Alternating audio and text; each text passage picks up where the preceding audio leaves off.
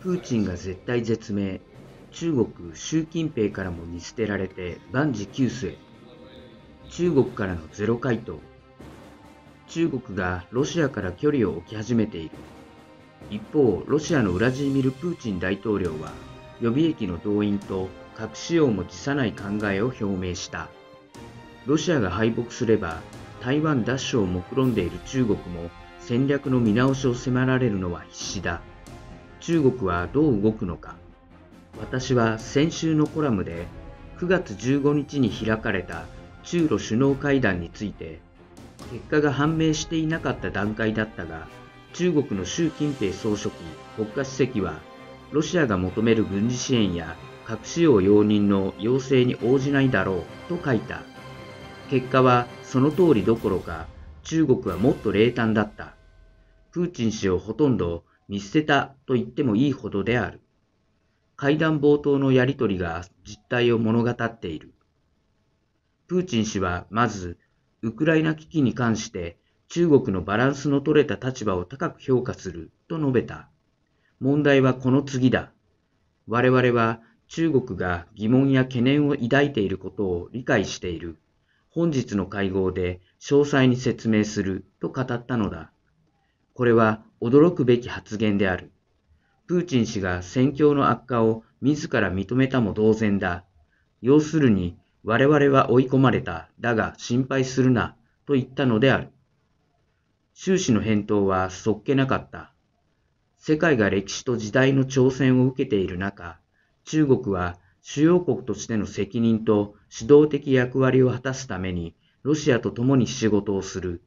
そして、荒れ狂う世界に安定と積極的なエネルギーを注入すると応じただけだ。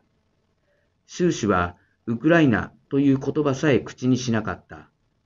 中国側は後で互いの革新的利益に関する問題について双方が強力な支援を拡大する準備が整っているという声明を出したが、これもただの一般論にとどまっている。戦場で主勢に立たされたプーチン氏とすれば、喉から手が出るほど中国からの軍事支援が欲しかったはずだ。それだけでなく、いざとなれば核使用についても可能ならば事前に暗黙の了解を取り付けたかっただろう。それは米国の暴露で明白である。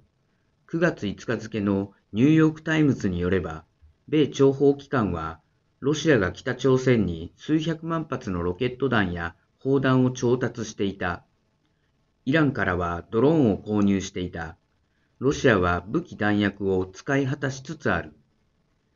だが願いは叶わなかった。中国のゼロ回答は事前にロシアに伝わっていたに違いない。だからこそプーチン氏は冒頭からあなたの疑問と懸念は理解していると言わざるを得なかったのだ。とても軍事支援や核使用の了解取り付けどころではなかった。日本のメディアの大失態。私は以上のような見立てを9月16日販売の夕刊富士のコラムに書いたが、こうした見方は私だけではない。9月15日付のニューヨークタイムズは、プーチンの戦争に対する中国の支持は、首脳会談の後一段と揺らいでいると報じた。CNN も同じく、ロシアの後退は新たな世界秩序づくりを目指す彼らの計画を台無しにしていると報じている。日本のメディアはどうかといえば全くピンボケだ。例えば、共同通信は15日に中ロ首脳協力進化表明、侵攻後初の首脳会談という記事を配信した。NHK の報道も、中ロ首脳軍事侵攻後初の対面会談対米姿勢で結束強化を強調という具合である。中ロに隙間風が吹くどころか逆に結束を固めたと見ていたのである。記者も担当デスクも中ロの連携は盤石と思い込んでいたのか、プーチン氏の冒頭発言の異様さに気づかないほど鈍感だったか、あるいはその両方だったとしか思えない。私は9月16日朝の虎ノ門ニュースでピンボケぶりを指摘したが、こんな調子では日本でマスコミ不信に拍車がかかっているのも無理はない。プーチンを切り捨てる習近平。それはともかくロシアは首脳会談後の19日になってニコライ・パトルシェフ安全保障理事会書記が訪中し、中国共産党の楊潔チ政治局員と会談した。ロシア側の発表によれば、合同軍事演習の実施や軍事部門の協力強化、参謀本部の連絡強化で合意したという。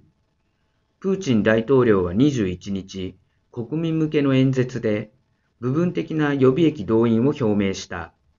セルゲイ・ショイグ国防相によれば、30万人を動員するという。同時に、核の使用についても、大統領ははったりではないと述べ、改めて核を使う可能性を示唆した。矢継ぎ早の動きにロシアの焦りがにじめ出ている。中国はどうするのか。私はウクライナ戦争の結末とプーチン氏の運命を見極めるまでは動かないと見る。その間は台湾侵攻は当面棚上げするだろう。これまで国内の反対論を抑え込んでプーチン氏に入れ込んできただけに、もしもロシアが敗北すればその衝撃波は習氏の政治基盤を根底から直撃するからだ。戦争に敗れた後も、プーチン氏が権力を維持できるかどうかはわからない。最悪の場合、プーチン政権が倒れ、後継政権はウクライナに全面謝罪し、親米路線に大きく舵を切り替える可能性もある。そうしなければ経済制裁を解除できず、国が立ち行かないからだ。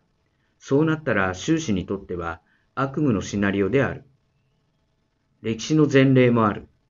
米国のリチャード・ニクソン政権は1971年7月に突如訪中を発表し、劇的な米中和解を成し遂げた。第一次ニクソンショック。これによって中国は激しく対立していた旧ソ連に対する米中包囲網を形成しただけでなく、米国の支援を得て経済発展の足がかりを築くことができた。もしも敗北した後の新生ロシアが米国と手を組むようなことになれば、攻守ところを変えて、今度は米ロによる対中包囲網が完成してしまうかもしれないのだ。これは決して夢物語ではない。私が夏にインタビューしたハーバード大学のステファン・エム・ウォルト教授は3月21日に、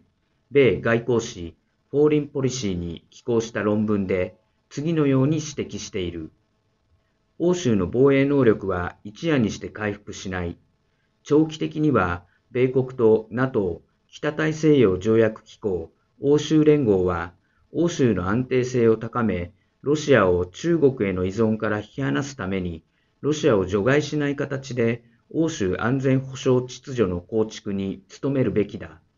こうした展開は、モスクワに新しい指導者が誕生するのを待たねばならないが、長期的な目標であるべきだ。今、ロシアの劣勢が深まるにつれて、そんな事態が現実になる可能性が出ている。先の CNN 記事もその可能性を指摘していた。最も真剣に考慮しているのは習近平氏に違いない。一歩間違えれば、プーチン氏と共倒れになる可能性があるからだ。もちろん別の展開もあり得るが、成り行きをしっかり見極めずに台湾に突撃するほど終始が愚かとは思えない。古今東西独裁者にとって最重要課題は自分自身の生き残りと権力維持だ。台湾奪取のような夢の実現ではない。はっきり言えば習氏にとって台湾奪取イコール中国の夢は単なる理想に過ぎない。独裁者に理想は二の次三の次だ。肝心なのは何はさておき自分自身の権力維持である。権力を失ってしまったら理想の実現も減ったくれもないからだ。ロシアが敗北すればプーチン氏と手を組んだのは習氏の戦略的失敗になる。それは当然国内で批判を招く。その上、台湾ダッシュのようなリスクのある博打を打てるか、そうでなく、習氏はまず自分自身の足元を固め直すことを優先するだろう。